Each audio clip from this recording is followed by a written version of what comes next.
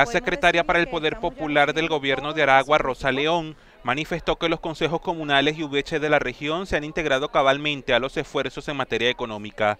En los próximos días, los proyectos del Poder Popular serán presentados al secretario para el Comercio, Desarrollo Económico y Exportación para su estudio y posible aprobación. Podemos decirles que estamos ya recibiendo todo lo que significó esta, esta primera oleada de lo que era recibir eh, de manos de la propia gente del Consejo Comunal, de manos del propio, de los propios voceros y voceras de las comunas, todo lo que son las propuestas de proyectos socioproductivos. Nuestro gobernador, al designarnos esta tarea, nos encomendó la idea del financiamiento de los proyectos socioproductivos.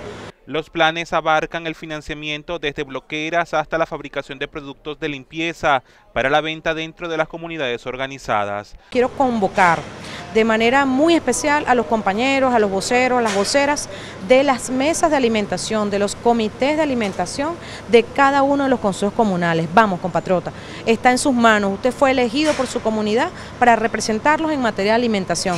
Queremos entonces ver que ese equipo, ese contingente de hombres y mujeres que está organizado, que tiene toda la voluntad, se incorpore pues a esta organización de los de en las calles, en las avenidas, en las veredas, en las comunidades. La autoridad regional instó a los integrantes de las comunas socialistas donde el plan de siembra urbana y producción agroindustrial ha generado grandes resultados a continuar con ese proceso.